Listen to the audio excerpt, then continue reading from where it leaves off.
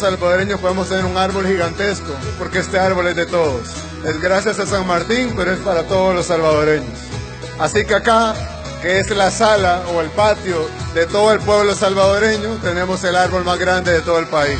Pero ahí arriba, en el Rondel Ferrer, vamos a poner otro árbol. Y ahí abajo, en la Plaza Gerardo Barrios, vamos a poner otro árbol.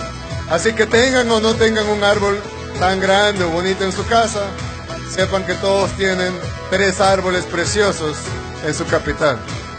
La Navidad es un tiempo para dos cosas. Uno es pasar en familia, disfrutar y sentir esa paz y esa unión y esa alegría que trae la Navidad.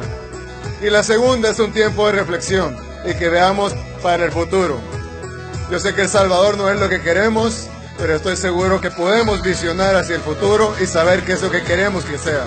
Estoy seguro que el 2018 será un mejor año y estoy seguro que el 2019 será todavía mejor. Así que feliz Navidad, que Dios los bendiga a todos y que Dios bendiga a cada una de sus familias y que Dios bendiga a nuestro hermoso país, El Salvador.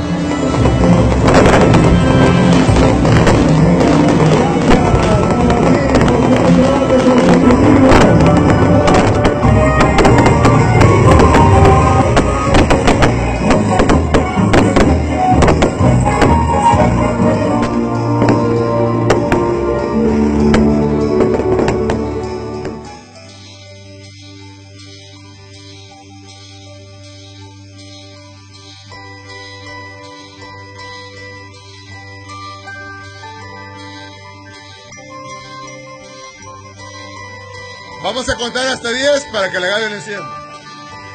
Y después vamos a decir feliz Navidad y entonces la Gaby lo enciende. Vaya, 10, 8, 7, 5, 3, 2, 1.